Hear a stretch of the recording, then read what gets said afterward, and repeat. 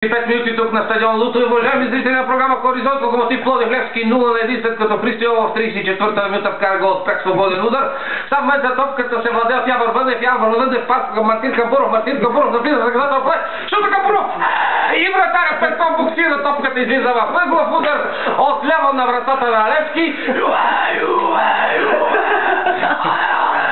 12 хиляди привърженици локомотив чакат изравнителния гол, а той така и така не пада 76 минути от началото на матча.